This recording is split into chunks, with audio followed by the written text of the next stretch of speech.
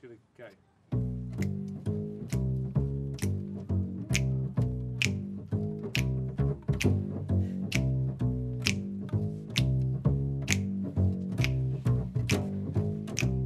Without my walking stick, I'd go insane. You know I feel undressed, not at my best without my cane.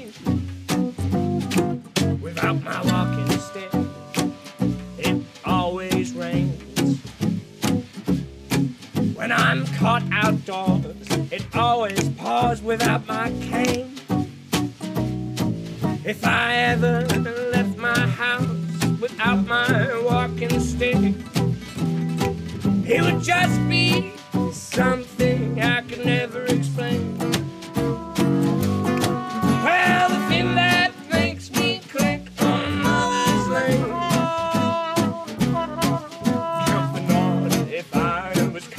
without my